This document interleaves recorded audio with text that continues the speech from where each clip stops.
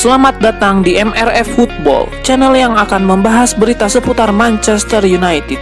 Jika kalian suka berita Manchester United dari kami, jangan lupa like, komen, dan subscribe. Dan juga nyalakan tombol loncengnya, agar kalian bisa tahu berita Man United terupdate dari kami.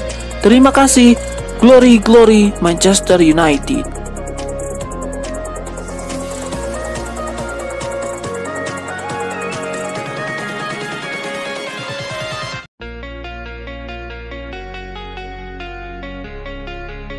Manchester United dilaporkan sudah dekat mendapatkan penyerang muda Belanda Cody Gakpo. Manajer MU Erik ten Hag menanggapi rumor tersebut. Apa kata dia? Gakpo disebut-sebut menjadi prioritas Erik ten Hag setelah MU berpisah dengan Cristiano Ronaldo pada November lalu. Pemain berusia 23 tahun itu sedang tampil sensasional bersama VSP di paruh pertama musim ini. Cody Gakpo sukses membukukan 13 gol dan 17 assist hanya dalam 24 pertandingan untuk membantu VSP terus dalam persaingan titel juara era divisi dan lolos ke playoff Liga Eropa. Selain itu, Gakpo juga bersinar di Piala Dunia 2022 setelah menyumbangkan 3 gol untuk Belanda meski kandas di perempat final. VSP tampak membuka lebar peluang Cody Gakpo untuk pindah ke Old Trafford. Pelatih VSP sekaligus mantan pemain MU Ruth van Nistelrooy mengaku akan sulit menahan pemainnya tersebut. Menurut rumor yang beredar akhir-akhir ini, Manchester United segera mendapatkan tanda tangan Cody Gakpo dalam beberapa hari ke depan. Erik Ten Hag memilih irit berbicara tentang rumor Gakpo ke MU.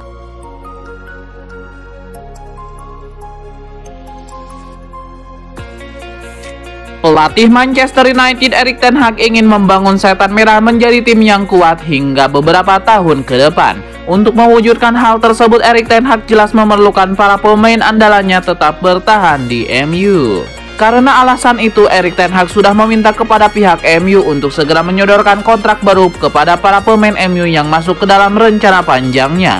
Keempat pemain itu adalah Marcus Rashford, Luke Shaw, Diogo Dalot, dan Fred. Untuk diketahui kontrak Dalot Transport Sau dan Fred hanya tersisa 6 bulan lagi bersama Setan Merah alias berakhir pada Juni 2023 mendatang. Akan tetapi dalam setiap kontrak mereka terdapat opsi perpanjangan satu tahun lagi. Tentu saja hal itu menimbulkan pertanyaan dari publik apakah Erik Ten Hag bakal memberikan kontrak baru untuk keempat pemain tersebut atau tidak.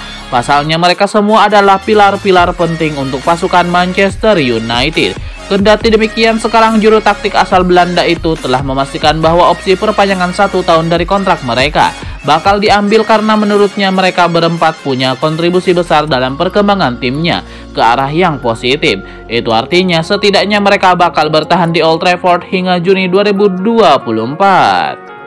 Lebih lanjut, Erik Ten Hag yakin bahwa keputusan memperbaharui kontrak pemain tersebut adalah pilihan yang tepat, sebab dia ingin terus membangun dan mengembangkan MU menjadi lebih baik lagi dan dia mau keempat pemain yang disebutkan tersebut menjadi bagian dari rencananya.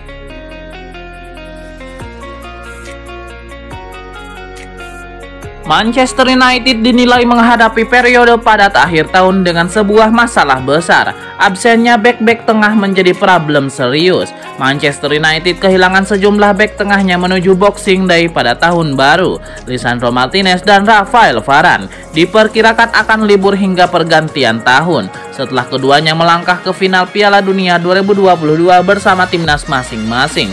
Rafael Varane malah diganggu cedera juga. Sementara back tengah lainnya Harry Maguire dikabarkan sakit dan belum diketahui kapan akan kembali. Mengatasi tipisnya pilihan di lini belakang, manajer MU Erik ten Hag memasangkan Casemiro dan Victor Lindelof kala MU menghadapi Burnley di Piala Liga Inggris. Setan Merah memang menang 2-0, namun pertahanan mereka tampak goyah. Manchester United selanjutnya akan menghadapi Nottingham Forest dan Wolverhampton pada tanggal 28 dan 31 Desember. Tipisnya pos back tengah akan menjadi sasaran empuk buat lawan.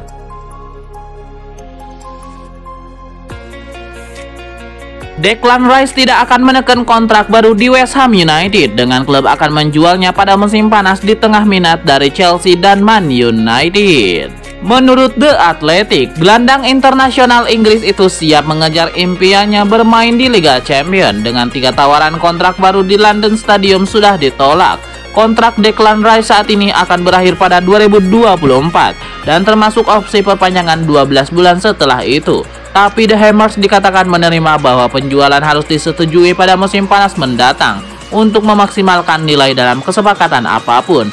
West Ham United tidak berniat melepas Declan Rice pada Januari dan pemain berusia 23 tahun itu tidak akan memaksakan masalah tersebut dengan mengajukan permintaan transfer. Tetapi perpisahan sekarang dianggap tidak dapat dihindari. Chelsea dan Manchester United serta Manchester City semuanya dikaitkan dengan ketertarikan kepada Declan Rice yang merupakan kapten di West Ham United dan telah memenangkan 39 caps senior untuk Inggris setelah sebelumnya berada di Akademi The Blues.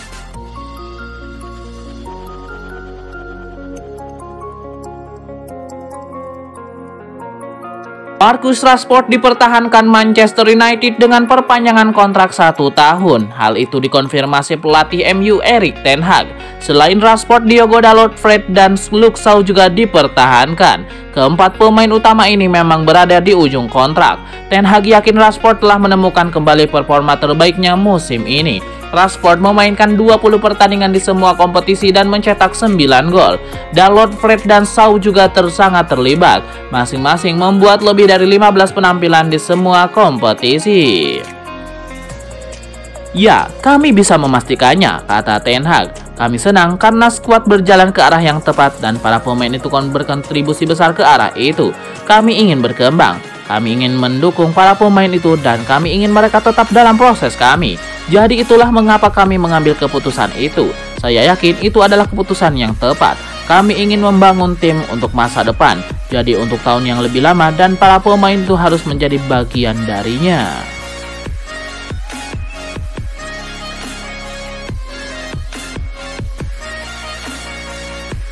Joao Felix dirumorkan akan meninggalkan Atletico Madrid pada bursa transfer musim dingin 2023 dengan opsi bergabung ke Arsenal atau Manchester United. Situasi terkini penyerang asal Portugal tersebut bersama Atletico Madrid memang cukup rumit memasuki musim keempatnya berbaju Atletico.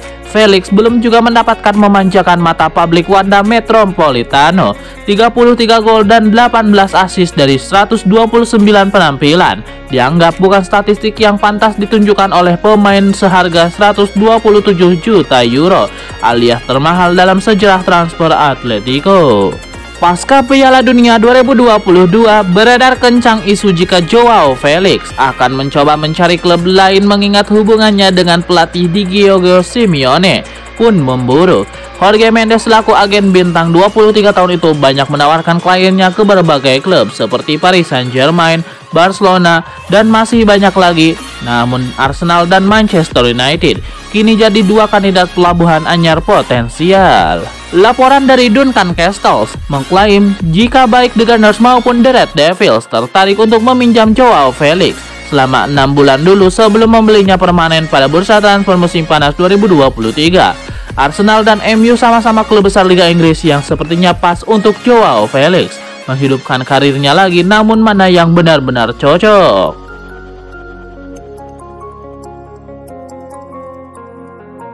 Manajer Erik Ten Hag melakukan hal baru untuk sesi latihan Manchester United. Para pemain MU dipantau pakai drone. Dilansir dari Daily Star, hal tersebut sudah dilakukan Erik Ten Hag pada jeda Piala Dunia 2022 di tempat latihan MU yang bernama Aon Training Complex. Erik Ten Hag meminta stafnya menerbangkan beberapa drone. Lewat drone gerak-gerik pemain MU dari ketinggian lebih terpantau jelas. Erik Ten Hag bisa lebih tahu apa saja kelemahan tiap pemain yang dan area-area mana yang harus ditingkatkan. Ke depannya, pantauan dari drone akan lebih memudahkan Erik Ten Hag untuk menganalisa para pemainnya. Erik Ten Hag dikenal sebagai pelatih yang suka berbagai macam metode latihan. Selain soal drone, dilaporkan staf kepelatihan MU diminta Erik Ten Hag untuk berbicara dengan beberapa pelatih sepeda yang terlibat pada Tour de France mengenai pola makan dan tidur. Erik Ten Hag juga dikenal keras dalam memberikan latihan. Namun rupanya Ten Hag dikenal turut memberikan perhatian penting pada perihal kebugaran pemain.